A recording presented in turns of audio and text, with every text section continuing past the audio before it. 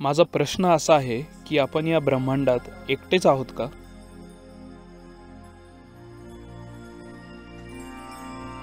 हे अत्यंत उर्मट आहे. मानवांनी असा विचार करणं की हे ब्रह्मांड मानव केंद्रित आहे.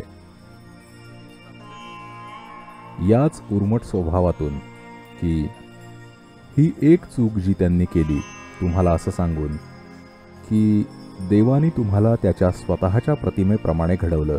या गोष्टींनी मनुष्यांना सर्वच गोष्टींबद्दल इतकं मूर्ख आणि बेजबाबदार बनवलंय. देव एखाद्या नागतोड्यासारखा का दिसू शकत नाही? मी विचारतोय. का नाही? नाही तो माझ्यासारखा दिसतो. नाही कदाचित तो एखाद्या किड्यासारखा दिसतो कदाचित तो एखाद्या म्हशीसारखा दिसतो कदाचित तो वाघासारखा दिसतो कदाचित हत्तीसारखा दिसतो किंवा कदाचित तो या ग्रहावरच्या कुठल्याच जीवासारखा दिसत नाही वेगळ्याच कुठल्या प्रकारे दिसतो किंवा कदाचित तो कशासारखाच दिसत नाही. ही एक गोष्ट जी मान्य करायची मनुष्यांची इच्छा नाहीये. त्यांना असाच विश्वास ठेवायचा आहे की देव म्हणजे एक मोठा पुरुष किंवा स्त्री आहे. जास्त हात जास्त पाय पण आपल्यासारखा.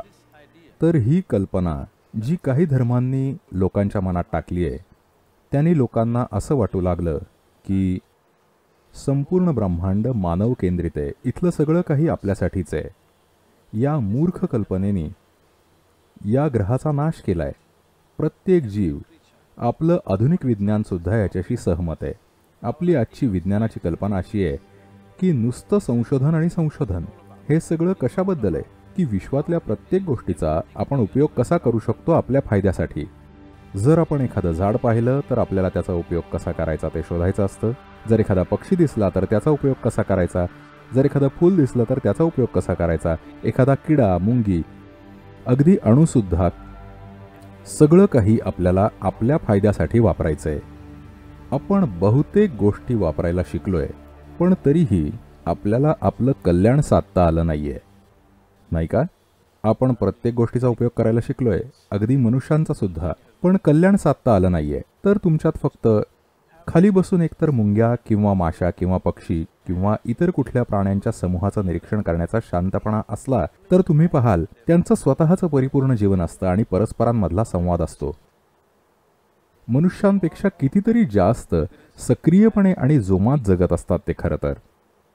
एवढंच आहे की आपल्याला वाटतं या सगळ्या गोष्टी इथे आपल्यासाठीच आहेत. जर उद्या कोणी शोधून काढलं की मुंग्यांपासून प्रोटीन कसं काढायचं तर झालं संपल्या सगळ्या मुंग्या.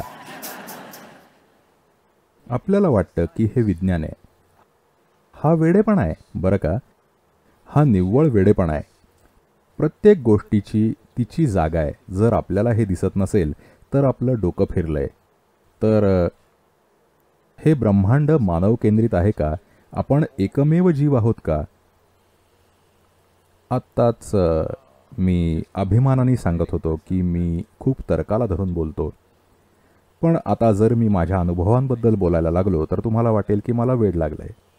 म्हणून मी हा विषय इथे सोडून देतो. पण हे मानव केंद्रित असूच शकत नाही हे खूपच विशाल आहे. ते फक्त मानव केंद्रित असूच शकत नाही. माझ्यासाठी हा प्रत्यक्ष अनुभव आहे की ते नाही आहे एवढंच आहे की मला माझी तर्कसंगत असण्याची ख्याती गमवायची नाही आहे त्यामुळे मी काही गोष्टींबद्दल बोलायचं टाळतो.